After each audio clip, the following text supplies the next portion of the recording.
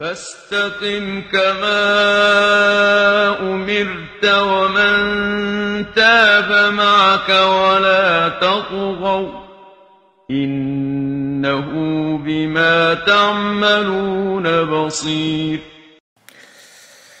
السلام عليكم ورحمة الله وبركاته. هنكمل بقى الهيدروليك. هنتكلم عن المحاضرة التاسعة اللي هي ال Dimensional Analysis أو الأناليسيس تمام؟ ودي طريقة بتستخدم عشان نربط المتغيرات ببعض. وبتكون علاقة وبنكون علاقة لا بعدية بين هذه المتغيرات. إيه الكلام الهري ده كله؟ بص يا معلم دلوقتي إحنا عندنا مجموعة من المتغيرات. فاكرين الدكتورة في إعدادي قالت لنا إيه دكتورة لمياء؟ قالت لنا أنت المتغيرات الأساسية عندك ال L وال M وال T وفي نظام تاني كان ال L وال F يعني بدل ال M. تمام. فإحنا كل الفكرة إن إحنا بنجيب كل حاجة بالنسبة للمتغيرات دي. برضه مش فاهم. طب بص ركز معايا هقول لك حاجة. دلوقتي انت عندك مثلا بعض المتغيرات نمشيها واحدة واحدة. عندك متغيرات geometric وفي ال kinematic وفي ال dynamic يعني إيه المتغيرات ال geometric ده اللي هو التغير في ال length التغير الأساسي في ال length اللي هو مثلا زي الدبس اللينس الويتس الاريا الفوليوم أي حاجة L يعني L تربيع L تكعيب أي حاجة L بس. تمام؟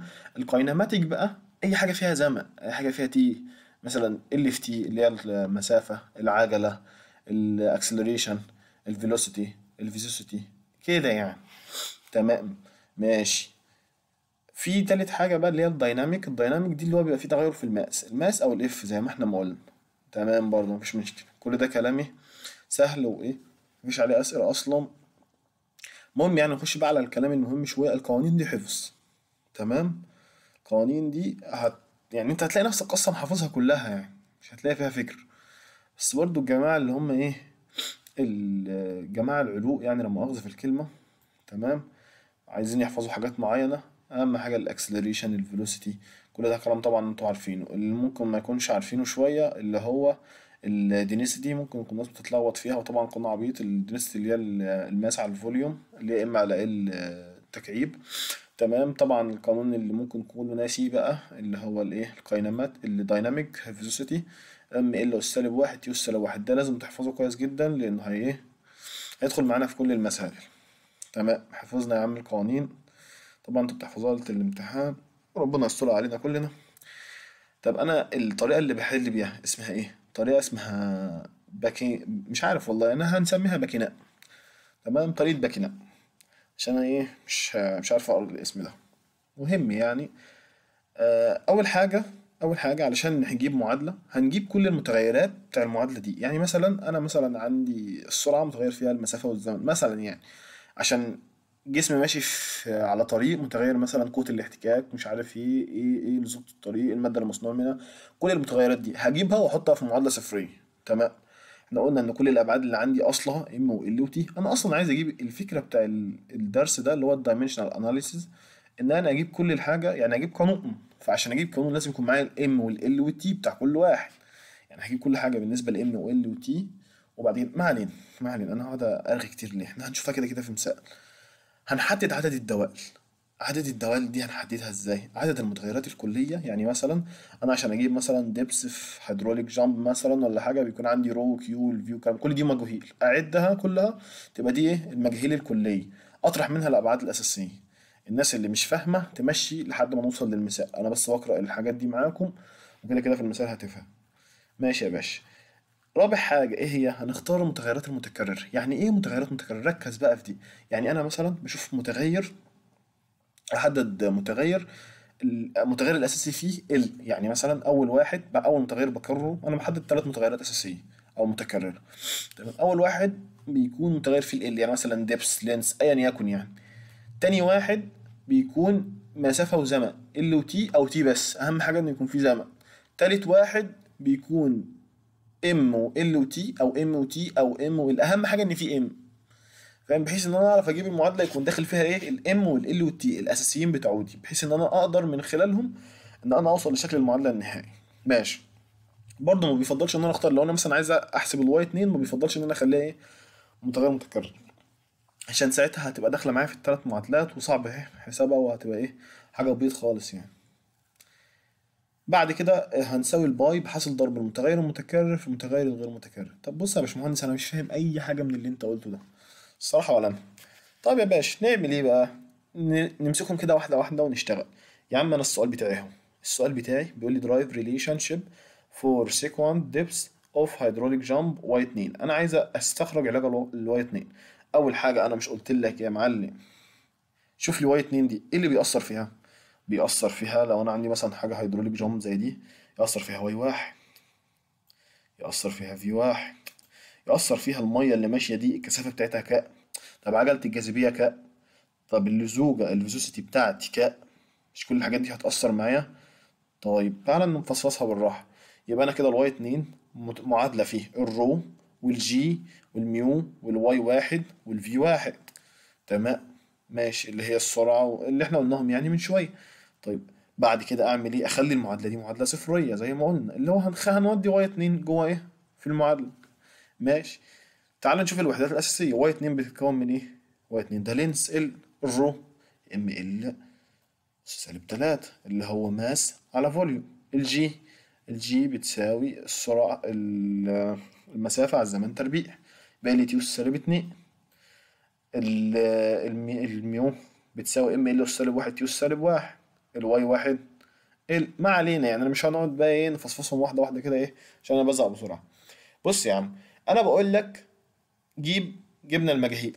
أنا كده عندي كام دالة المجاهيل بتاعتي أدي واحد اتنين تلاتة أربعة خمسة ستة. يبقى أنا كده عندي ست مجاهيل. طب الأبعاد الأساسية بتاعتي كام؟ إحنا قلنا M و L و T يبقى أنا كده المجاهيل ناقص الأبعاد الأساسية. يبقى عدد الدوال بتاعتي كام؟ ستة ناقص تلاتة. ستة ناقص تلاتة يبقى أنا عندي تلات دوال. طيب جبنا عدد الدوال. طب أنا عايز أجيب ال repeating variables أنا قلت ال repeating variables عشان أجيبها. أول واحد يكون متغير فيه ال L بس. يبقى Y واحد. طب يا باشمهندس ما خدتش Y اتنين ليه؟ أنا في المسألة عايز Y اتنين. عشان هدخل Y اتنين ك repeating حاجة متكررة تفضل تتكرر معايا في كل المعادلات. ده أنا كده ب ببدن على نفسي يعني. أنا عايزه أصلا في الناتج فعايزه في في خطوة واحدة وخلاص بحيث إن أنا أحسبه يعني. تمام؟ ماشي يا باشمهندس. يبقى أنا كده أول repeating factor أول repeating variable معايا هو ال Y واحد. تمام؟ اللي هو ده. تمام؟ ال repeating variable التاني أنا قلت أول واحد يكون L تاني واحد يكون T و L أو T بس. المهم يعني إن يكون في T طب أنا قدامي اتنين. لا قدامي حاليا واحد بس اللي هو ال G تمام يبقى تاني واحد اللي هو ال G تالت variable factor اللي هو عايز حاجة فيها ال M في قدامي اتنين. M L أس سالب واحد و M M L أس سالب واحد T أس سالب واحد و M L أس سالب تلاتة. طب أنا آخد أنهي واحد فيهم؟ أنا يعني الأفضل لك إن أنت تاخد ال rho بس اللي هي M L أس سالب تلاتة بتكون أسهل في الحل وهتفهمها بعد شوية ليه أسهل. فأنا أسهل لي أنا اخترت ال rho. على فكرة لو اخترت التالتة ال- لو اخترت اسمها إيه دي بقى؟ لو اخترت ال viscosity هتبقى برضو صح. بس أنا بقول لك الأسهل يعني. تمام؟ ماشي يا عم. جبنا التلاتة دول. طيب أنا أعمل إيه؟ أنت قلت لي بعد ما بتجيب الكلام ده يعني جبت عدد المجاه الدوال بتاعتي تلاتة. يبقى أنا أشوف عدد تلات دوال. طيب وجبت ال repeating بتاعتي. انت قلت لي إن الدالة بتساوي ال repeating variable في الإيه؟ في ال non repeating اللي هي بتساوي المتغيرات المتكررة في المتغيرات غير المتكررة. تمام. طب المتغيرات المتكررة بتاعتي إحنا قلنا إيه؟ rho في ال G في ال Y واحد. ده كده إيه؟ المتغيرات المتكررة بتاعتي. rho في ال G في ال Y واحد. في المتغيرات الغير متكررة اللي هي V واحد وال mu اللي هي بتاع ال viscosity وال rho وال sorry مش ال rho وال Y اتنين تمام؟ يبقى نضرب المتغير الغير متكرر في المتغير المتكرر. يبقى rho في G في Y في V واحد دي الأولانية. rho في G في Y mu التانية rho في G في Y في ال Y اتنين أنا بعمل إيه أصلا؟ أنا بقول إن ال rho دي أس إيه؟ ثابت مجهول اسمه إيه؟ وال Y ثابت مجهول اسمه B وال G كذلك. بضربهم في المتغير الم- المتكرر V واحد دي كده إيه؟ ما مش بثوابت يعني. تمام. فك دي يا عم دي. أنا كل ده بسويه ب pi واحد. pi واحد دي اللي هي إيه؟ M أس صفر L أس صفر T أس صفر. في ناس منكم أكيد بدأت تجمع الفكرة في دماغها.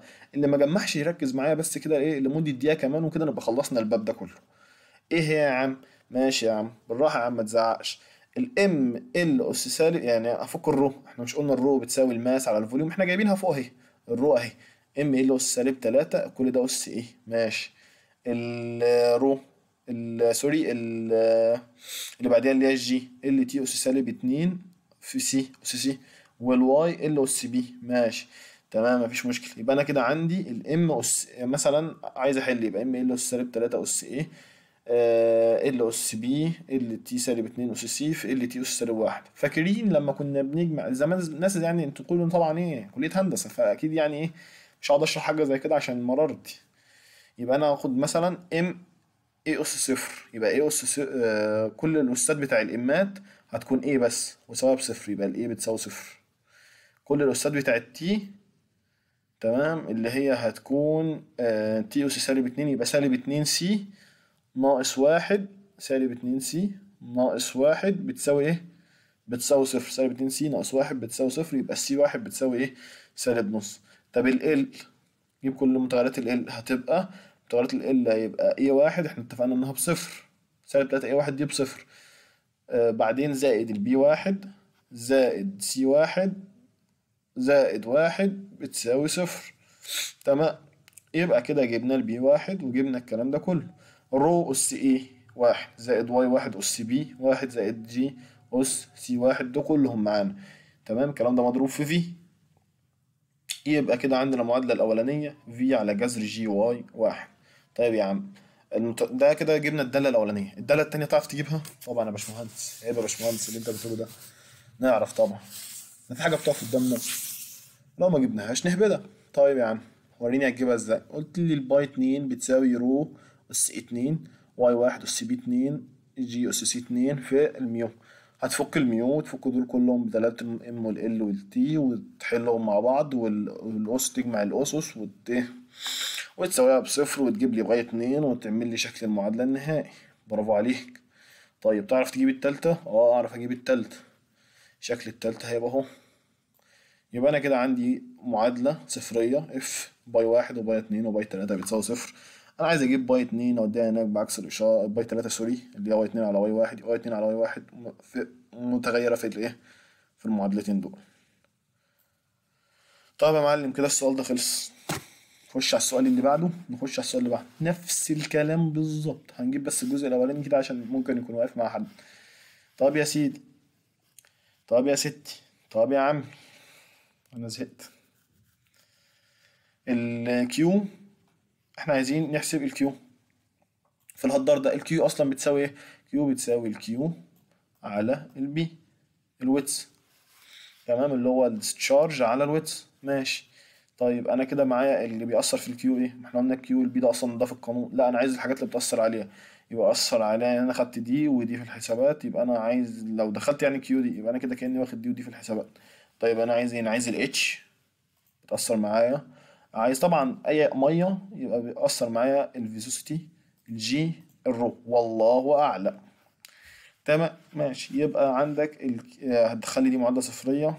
حول الأبعاد الأساسية عدد الدوال بتاعتك المجاهيل بتاعتك واحد اتنين تلاتة أربعة five تمام يبقى five minus three بتساوي إيه؟ two يبقى عندي ال rho والجي وال H as repeating variables. تمام برضو نفس الكلام. اعمل معادلاتك طلع دوالك ما تخليش حد إيه؟ يتريق عليك هتطلع شكل المعادلة الأخيرة كده. عندك البتاع دي ثابت يبقى ثابت في جذر جي في ال أيا يكن يعني. تمام؟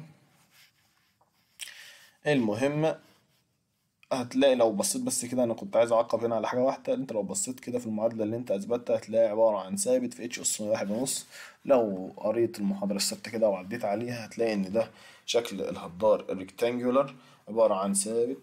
تمام مش فاكر الأرقام بالظبط كان تقريبا اتنين على تلاتة. سي دي في ال في ال B في الجذر الجي في ال H أس واحد ونص تمام؟ اللي هي الرقم داتي تمام؟ وهو كده يبقى إحنا كده بنهبط في إطار الموضوع. السلام عليكم ورحمة الله وبركاته. أنا بتكلم كده ليه؟ يلا ما علينا.